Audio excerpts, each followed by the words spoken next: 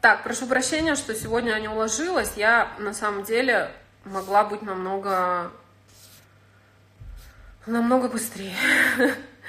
Под, подключайтесь, подключайтесь, и это чуть-чуть на самом деле мы не успели. Вот. Так.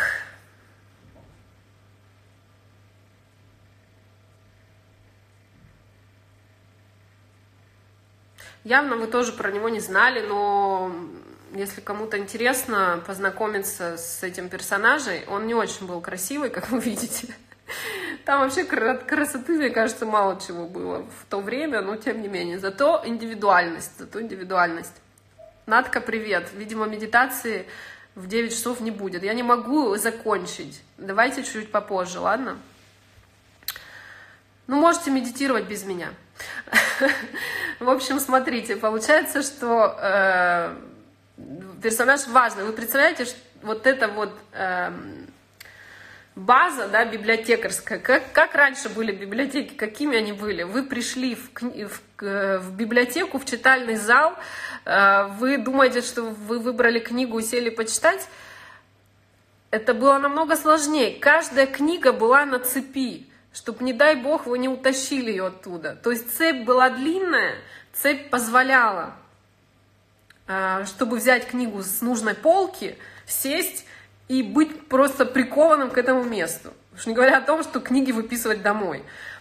И во Флоренции сегодня Национальная библиотека – это одна из крупнейших библиотек мира благодаря этому человеку. Она называется э, Национальная библиотека Флоренции. Это здание потрясающей красоты, его не скачала, но тем не менее знайте, что когда вы проезжаете мимо, э, многие говорят, а это что, а это что, а это библиотека. Вот. Э, и, собственно, этот человек, который, э, фамилия которого Малья Бекки, он дал еще и свою фамилию, э, так назвали библиотеку, которая находится в Уфице. Я вам скажу так, что я как только выйду из карантина, я пойду в эту библиотеку, друзья. Вот, смотрите.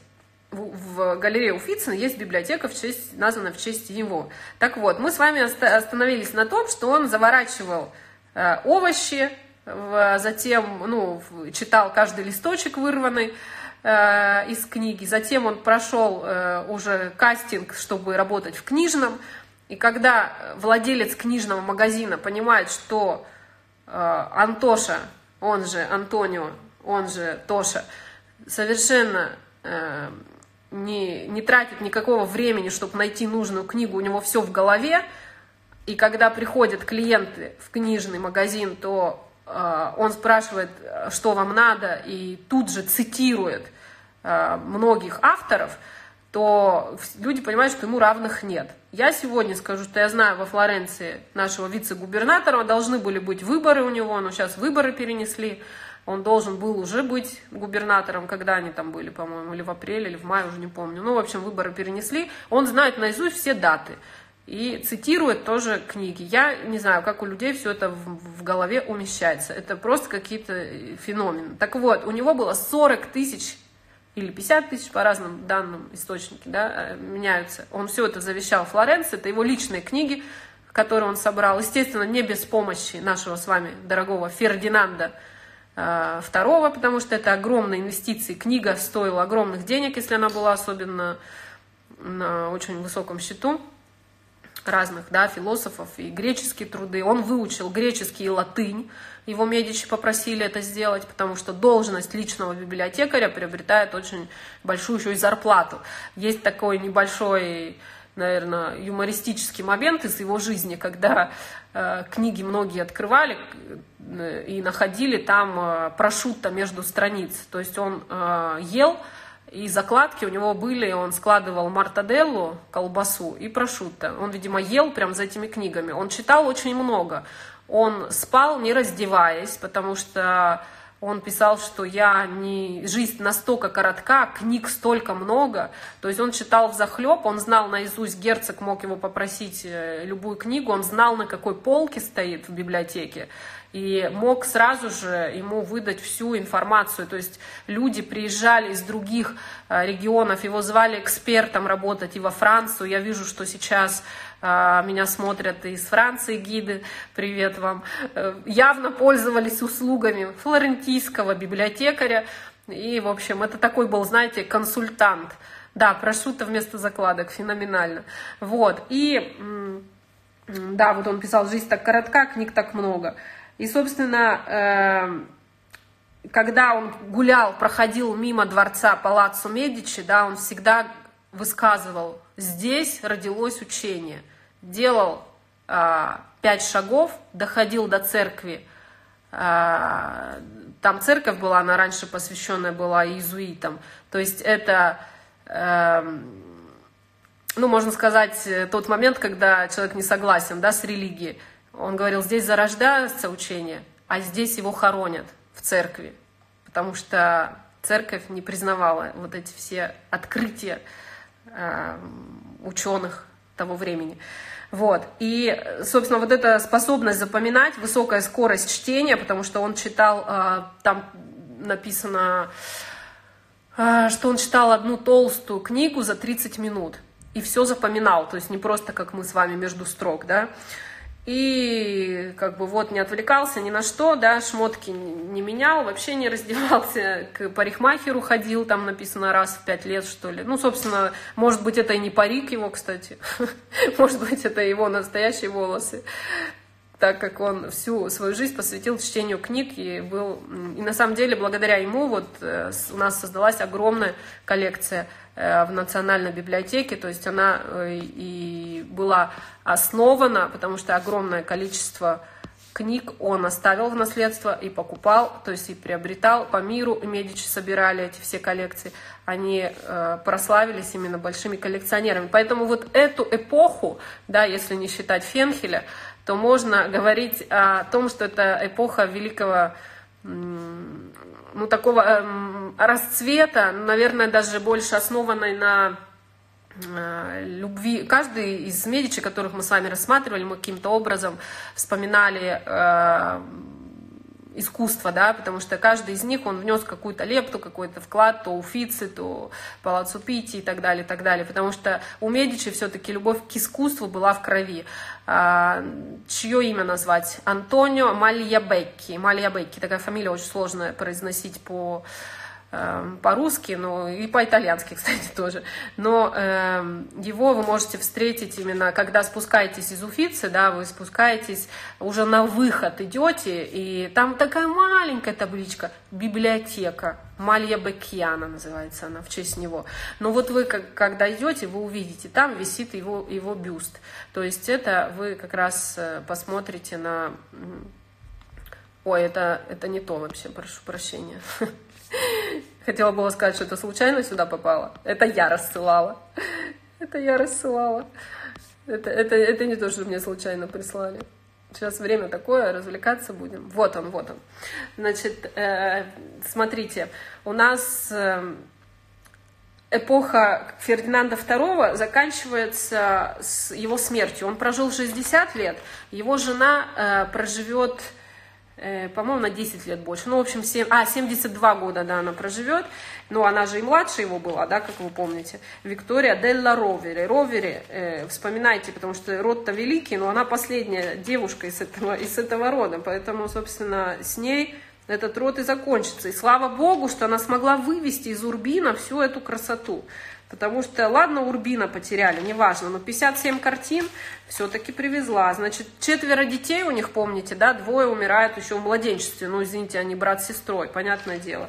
Затем э, есть, э, есть у нас данные на момент правления Фердинанда II, э, что числилось в архивах, смотрите. 730 картин, 11 810 э, набросков. Наброски тоже важны. У нас есть первый этаж Уфицы, вы идете всегда на второй на лифте, да, потом вы спускаетесь, и я знаю, что вы смеетесь, все-таки первая чакра говорит о своем, поэтому как ни крути, но все мы ходим вокруг этого, да. Сейчас про искусство, а потом пошли уже про другое. А, на первом этаже вы смотрите, заходите туда и наслаждаетесь огромным количеством набросков. Ну, кому нужны наброски? Все-таки скучно, черно-белое. Но знайте, что с набросков зарождается искусство. То есть как раз наброски это зачастую очень важны, потому что художник, когда потом нанесет на холст свое произведение искусства, он может что-нибудь поменять, как у нас бывает часто, раз, а, почистили картину, да, то есть сняли верхний слой и нашли какой-нибудь сюрприз. А набросок, может быть, это все и содержал. Просто потом художник взял и поменял свое мнение. 318 скульптур, 7 тысяч медалей, 900 а, камеев, затем 800, э, это все в штуках, да, этот портсигар кожаный, пиджак кожаный, портсигар, 800 э, фарфоровых изделий. Тут может быть что угодно. Чашечки, тарелочки, разные там э, солянки, перечницы и так далее. То есть, э, чтобы вам увидеть всю эту роскошь, я вам очень советую, вот вы в Палаццо Питти идете обычно в галерею Палатину, она так называется. Вы идите туда, значит, все это посмотрите где-то часа на два, друзья.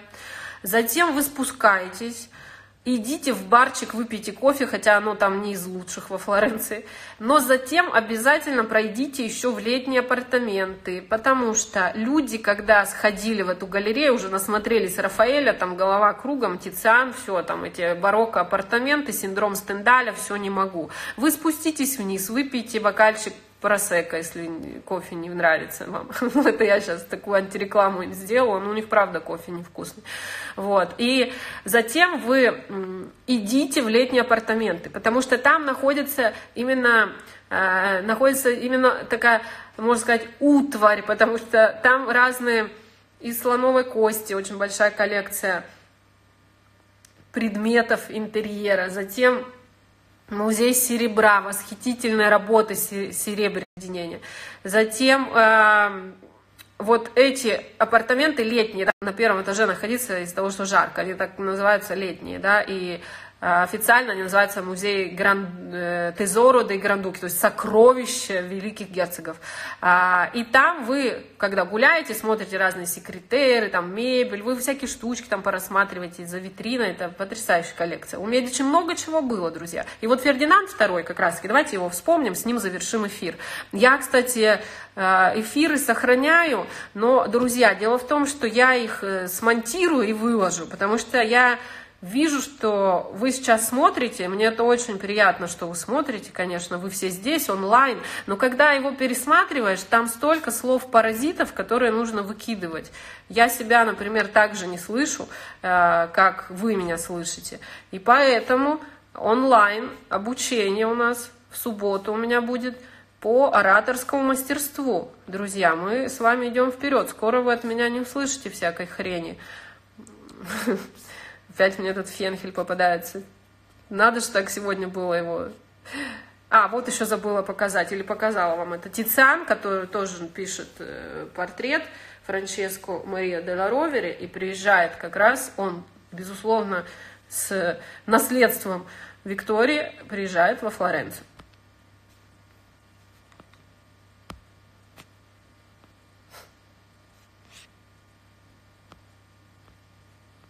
Вопросики, друзья? Вопросики. Эфир супер, слушайте, спасибо вам большое. Ничего не надо выкидывать. Вот именно вот тот маленький нюанс, на который я случайно нажала, его и вырежу. А вы думаете, что это, собственно, и была изюминка, да? Так, значит, давайте 10 минут, вопросы и ушли медитировать.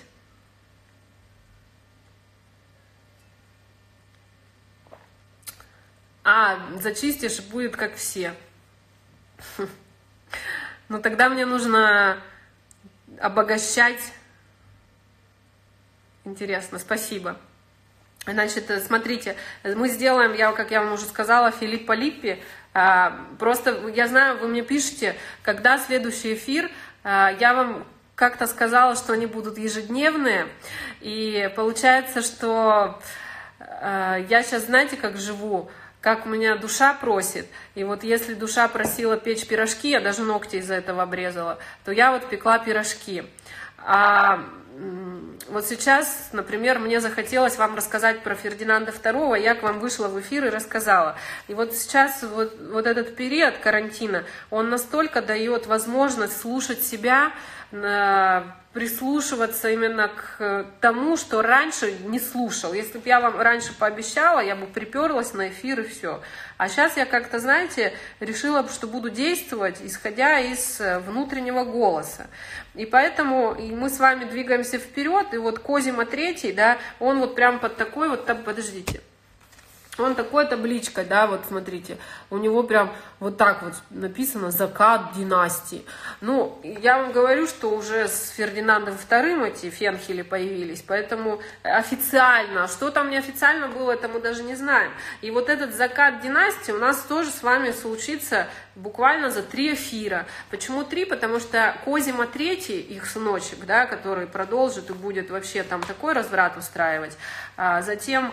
Эм, Жан Гастон, Жан Гастон его сын, французское имя, потому что мать, мать была француженка, вот, и э, уже его сестра Анна Мария Луиза, все, это, это, это с ней уже все, забудьте про Медичи, потому что 18 февраля она Э, умирает и оставляет завещание, 18 февраля какого года не сказала, 1743 эм, года, и оставляет завещание, что все, друзья, вы представляете, наш род столько всего накопил, даже говорит, даже не буду инвентаризацию делать, забирайте все, флорентийцы, иначе австрийцы все отсюда утащат. То есть ее очень большая была как раз боль, что она должна была эту Тоскану взять и передать Э, во владение именно австрийцев. То есть это большая была проблема для всех, я вам скажу, потому что взять просто так такой могущественный, богатый род и отправить всем в одно место, но имейте в виду, что это первый брак между братом и сестрой, хоть и двоюродными, но тем не менее. И вот э, когда мы будем с вами разбирать весь разврат э, следующих, следующих Медичи, э, вы делаете всегда скидку на то, что это все было обусловлено вот именно ментальными проблемами. То есть человек, который берет себе 200 мальчиков в обслугу и платит им зарплату из государственной э, казны, он э, не совсем в порядке, понимаете, с головой, с головушкой. Но если э, его бабушка и дедушка соединились между собой, то поэтому имейте в виду. Так, Микеланджело тоже был фенхелем. Свечку там не держали про Микеланджело. Есть разные версии, но, э, безусловно, гении, которые которых мы знаем, часто использовался именно вот этот, как называли, средиземноморский тип гомосексуализма, то есть ученик-учитель, да, то есть в мастерскую, когда ты приходил, э, тебя могли там научить всему. И вот эта любовь однополая, она развивалась до такой степени во Флоренции, что во времена там, 15-17 век, мы сегодня разбирали, да, 17 век, э, это одна треть населения мужского Флоренции, она была нетрадиционной, то есть она была би, и, и мужчины, и женщины. И вот когда, э, например, кто-то был путешествовал за границей, то у него даже э, имя было такое нарицательное, флорентиец, если он был фенхелем, понимаете? Взяла сейчас и рассказала интимная часть. Надеюсь, меня Фенхель тут не смотрит. Но я говорю, не воспринимайте близко к сердцу. Я абсолютно толерантна, абсолютно. Тем более, что за всю мою историю работы гидом я часто встречаю, ну, то, что там каждый день, конечно, нет, но, тем не менее, русскоговорящие, русскоговорящие фенхели тоже бывают. Любви пола нет, видите? Ну, я, я, я согласна. Просто, понимаете, тут идет такой э, момент, когда продолжение там династии, да, и вот последний из Медичи просто отказался. Здесь его предки, они хотя бы, ну, надо продолжить, они делали, но при этом у них были мужчины в приоритете. Хорошо. Ну, а вообще полностью, хотя, как там говорят, не судим, не судим будешь. В общем, э, спасибо всем за эфир. Я прощаюсь. Я сохранила оба эфира. Ну, в смысле, этот сейчас тоже второй сохраню. Э, следующий эфир Филиппо Липпи. Приходите, можете готовить ваши вопросы. Дело в том, что э, Филиппо Липпи, он был гениальный художник, он был учителем самого Боттичелли. Это очень там тоже такая интимная история, интересная с его назначением придворным художником Медичи. И, в общем, насыщенная такая большая жизнь, произведение искусства рассмотрим его, картины и в Уфице, и во Дворце Медичи. И, в общем, э, те, кто остаются в тени, они э, у нас с вами здесь, на наших эфирах, они должны выплывать потому что э, все знают эти громкие имена и все. А кто их учил? Кто их учил, мы с вами рассмотрим, мы заглянем к ним в душу, посмотрим, э, с чего они начинали, какие у них были проблемы, потому что, знаете, это сегодня ты можешь творить, что хочешь, приклеил вон банан скотчем и написал произведение искусства. А люди, которые должны были соблюдать, э, соответствовать цензуре и, э, и религиозность, и, э, и правители, то есть все это нужно было соблюдать, и поэтому, когда вы, вот посмотрите, кто из вас не видел фильм «Грех» Микеланджело, то Кончаловского, Микеланджело, да, почему он очень очень большое внимание уделил его внутреннему миру, вот этим вот его проблемам э, психологическим, потому что очень сложно было творить. Здесь папа, здесь Медичи, э, здесь он сам, то есть э, здесь деньги, да, и, конечно, не без этого. Это все, это, это проблема любого артиста. Артист — это творческий человек, да. Э, кстати, многие слова вот в итальянском, они мне нравятся, потому что в, в русском их нет — ну, то есть скажите слово «артист» на русском. Если вы скажете «артист», вы, вы подумаете, что это человек, который на сцене. А здесь артиста, это творец, то есть ты кто, я артиста. И вот, это, вот это слово арте, творчество, мы можем сказать творец, но это, это что-то не то, да. И вот как раз оно очень емкое в итальянском языке. Артиста, когда тебе говорят, ты не знаешь, какой сейчас, какая сейчас будет профессия. Когда тебе говорят, я соno артиста, а потом ты уже можешь услышать ювелир, мастер по бронзе, фотограф, там, не знаю, какие-нибудь коллажи там делаю эти, э, броши, там, все что угодно, да, и это все артиста, потому что это ручки, арты, это арты, творчество. И вот э, почему такая большая возможность у вас именно прикоснуться к истории Флоренции, потому что здесь очень большая концентрация этих артистов. Э, и на сегодняшний день. Единственное, что современное искусство, как мы с вами говорили, говорили на предыдущем эфире, здесь сейчас не поощряется, да, но при этом все равно люди едут сюда научиться, если у них есть душа к творчеству, к тому, чтобы быть там или реставратором, или мастером по бронзе, скульптором и ювелиром, все равно все приезжают сюда, потому что никакая Америка вам это не даст, да, и тот же Полимода институт, связанный там с модом, с модой, дизайном, э, здесь совершенно другое преподавание, их много по миру, но они здесь все равно более, ну, так сказать, с флорентийской душой, и вот когда я живу здесь, уже вижу, что я могу прийти в гости там к Маркизе, или там, пожалуйста, возьмите княгиню Строци, да, которая расписывает фарфор сама, потрясающе расписывает, да, картины ее там все, каждую там картину можно в музей ее повесить, да, и то есть вот это вот э, дух э, творческий, да, естественно, обусловлен высокой концентрацией этих творческих людей, когда они говорят, что у нас кровь гениев в жилах течет, потому что это генетически это генетически так.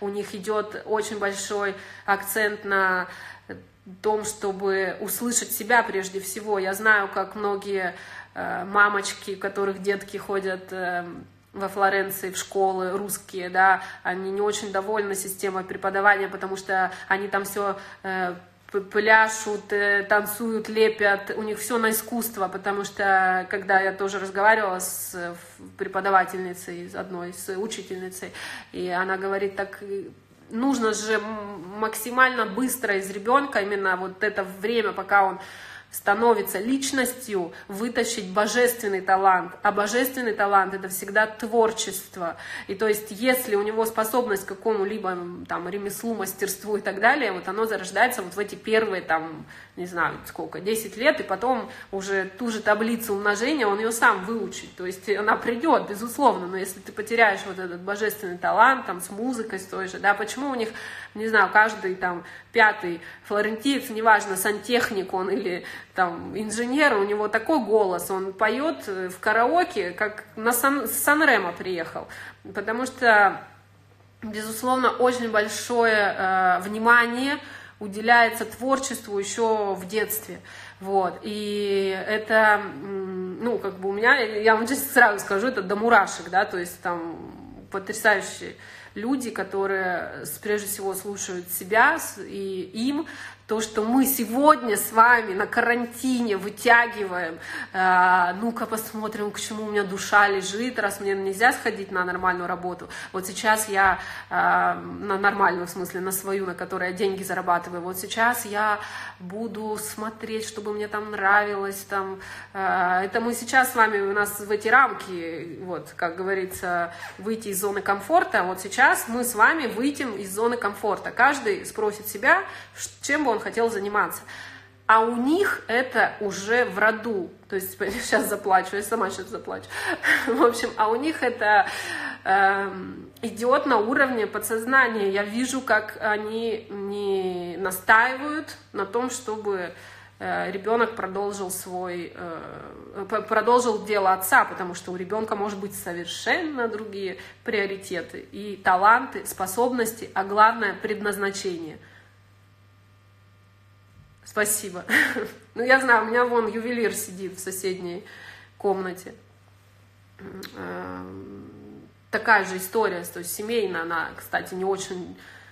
Ну, это опыт, нельзя сказать, что показательная она или не показательная. То есть э, его отец, он очень надеялся, что он продолжит э, его дело. Это такой инженерно-компьютерный бизнес, не знаю, как правильно сказать, к какой отрасли относится. Это система навигаторов для сельскохозяйственной техники, для тракторов, такие насадочки, которые там стоят кучу-кучу денег, но при этом ты, например, сидишь в офисе и видишь, как у тебя э, твой э, работник на тракторе там э, сеет какой-либо продукт через определенное количество там расстояния между грядками, ну и, в общем, вот такая хреновинка там на трактор стоит десятки тысяч евро, да, и то есть этот бизнес, который он запатентовал, он, и, и у него не так много конкурентов, э, это во Франции только, и, ну, для виноградников в основном э, покупают во Франции, в Италии, и как бы он, так как это целое дело его жизни, он надеялся, что Кристиан продолжит, потому что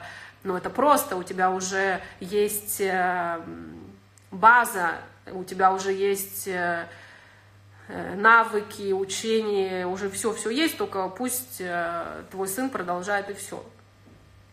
А, поэтому он его отправил учиться на инженерный, он с горем пополам его закончил, потому что здесь, представляете, не как в России, здесь ты, если учишься в университете, ты сдаешь честно все экзамены, и мало кто за пять лет вообще в принципе заканчивает университет. Поэтому э, он 8 лет отучился, и, и он понял, что это не его, ну что он делал, он, он как бы, чтобы не разочаровывать отца, он ходил там, по-моему, три года на работу, в офис, э, пытался управлять людьми, пытался э, всячески интегрироваться в семейный бизнес, но, пожалуйста, он ювелир, что ты хочешь с ним делать вообще?